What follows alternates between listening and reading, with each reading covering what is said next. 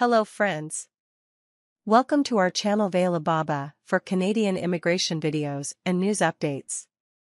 In this video, we will talk about how NOC changes impact Atlantic Immigration Program AIP applicants. Watch the video till the end to get the full information. Please hit the like button, subscribe channel, and do not forget to push the notification bell icon for more upcoming videos and immigration news updates. Let's jump into our today's video. The Atlantic Immigration Program AIP is a federal program that allows newcomers to move to one of Canada's Atlantic provinces which are Nova Scotia, New Brunswick, Prince Edward Island, or Newfoundland and Labrador, and get permanent residence. Please watch our video on AIP, link of which is given in the description, which contains details about how the Atlantic Immigration Pilot Program works, details on what the program is all about, what are the eligibility requirements, and how you can submit an application to obtain Canadian permanent residence through this program. AIP was previously open to applicants with experience in jobs that require skill level C or above. Under NOC 2021, the eligibility cutoff changes to TEER4.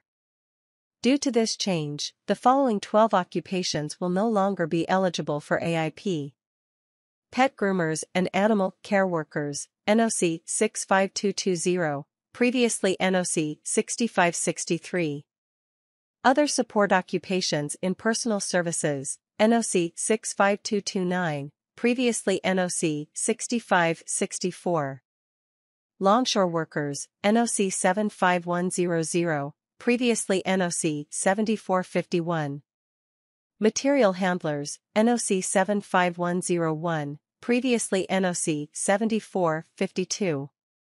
Taxi and limousine drivers and chauffeurs, NOC 75200, previously NOC 7513.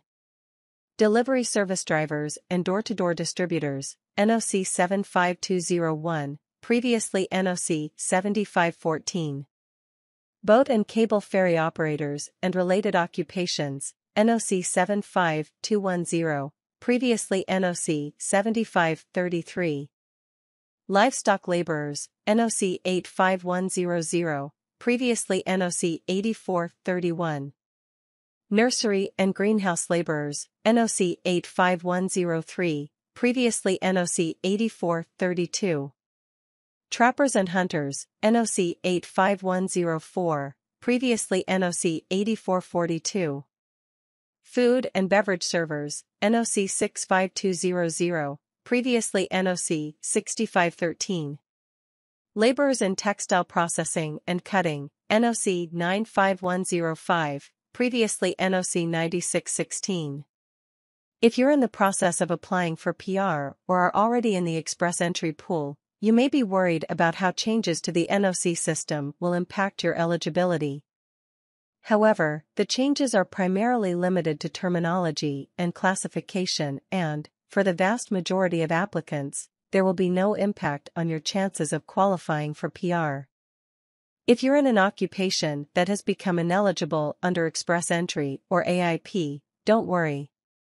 You may still be able to qualify under a different immigration program and move to Canada. Please visit the Canadian Immigration official website. Thanks for watching. Please let us know in the comments section below what you think about this. That's all what we have for in today's video. See you in next video, till then bye.